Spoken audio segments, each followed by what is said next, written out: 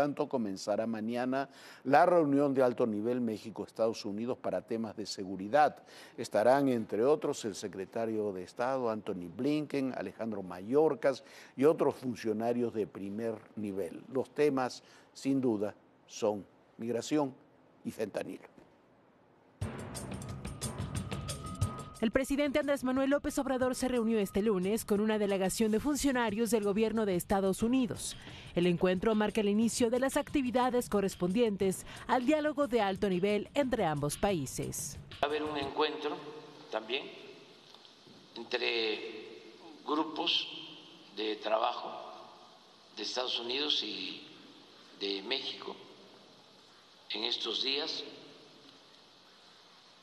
para tratar temas como la migración, como eh, el tráfico de drogas, en especial lo del fentanilo.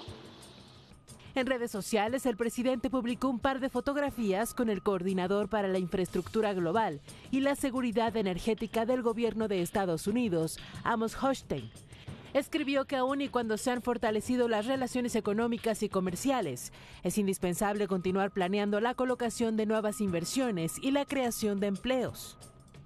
El encuentro sirvió para plantear la agenda de las mesas bilaterales que se instalarán a partir de mañana, donde se abordarán temas en materia de economía, migración y combate al fentanilo. En la reunión también estuvo presente el embajador de Estados Unidos en México, Ken Salazar.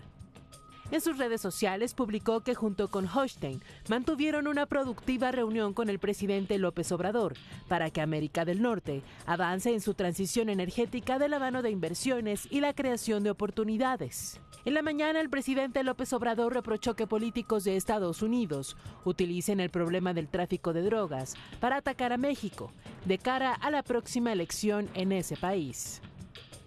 Se tiene previsto que el presidente López Obrador y el secretario de Estado Anthony Blinken se reúnen el jueves 5 de octubre para encabezar el diálogo de alto nivel sobre seguridad entre ambas naciones. El secretario de Seguridad, Alejandro Mayorkas, y el secretario de Justicia, Merrick Garland, acompañarán a Blinken, entre otros funcionarios.